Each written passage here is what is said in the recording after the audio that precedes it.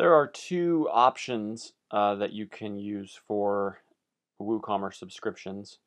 Um, so if you are creating a credit-based subscription product, uh, there's two other tutorial videos on how to create a simple subscription or a variable subscription using the credit bundles that you've created.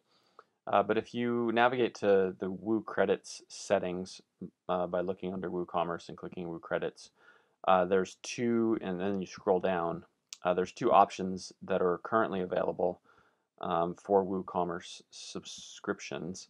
And the first one is this checkbox for reset credits upon subscription renewal. What this does is it does not let the customer's credits accumulate. So if you have a plan, for instance, this package one, they get 10 credits for 25 bucks.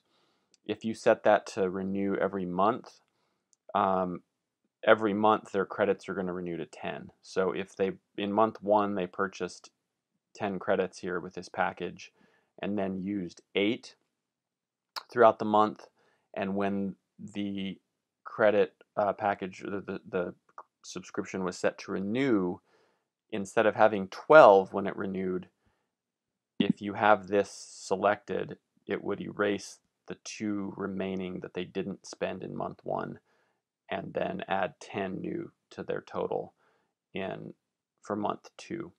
So it can be a way. It was a it, it was requested by quite a few of our customers. So it can be a way to incentivize your customers to spend their credits. Um, if you don't have this selected and they purchased package one for month one and they had 10 credits and they spent eight and they had a balance of two, then when month two triggered, they would get 10 additional credits plus the two remaining. So they would start month two with 12 credits. Um, so that's totally up to you, but it is an option if you want to reset them every month and incentivize them. Hey, you only have 30 days to spend these credits, get on it. Or if you leave it unchecked, the credits will accumulate. Um, the other option is to hide the credit price for non-members. So we've had requests for people running membership sites, subscription sites, to not display the, the price of the product in or to, to hide the credit price if, if the person's not logged in. Um, so that is an option if you want to encourage people to join in order to see the prices. Uh, that is an option that if you select that, um, the all the credit prices for your products priced in credits would not be visible, uh, which would then you know funnel and hopefully redirect your visitors, encourage them to become members in order to see the prices.